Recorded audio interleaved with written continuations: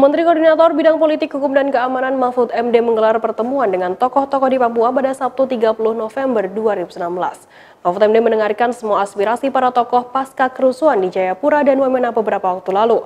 Dalam pertemuan tersebut, Mahfud MD menemukan sejumlah fakta baru di Papua yang tidak terekspos pemberitaan media.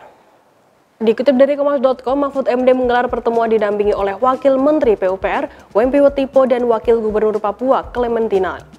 Mahfud mengaku mendapat banyak fakta baru seusai menggelar pertemuan tersebut.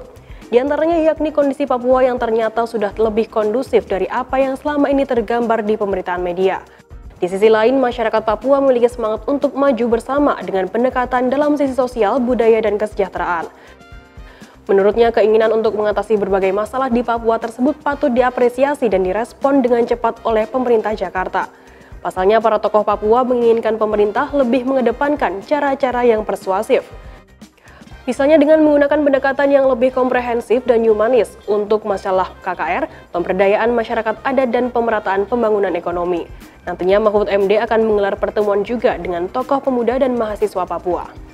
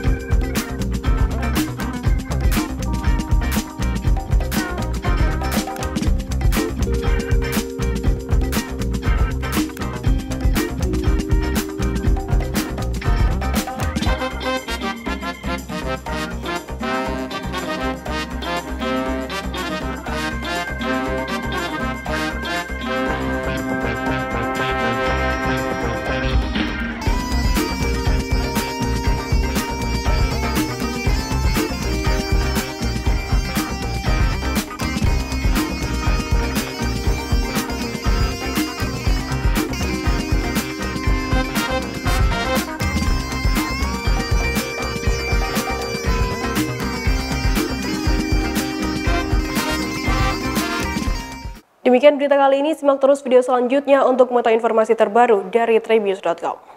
Jangan lupa subscribe ya!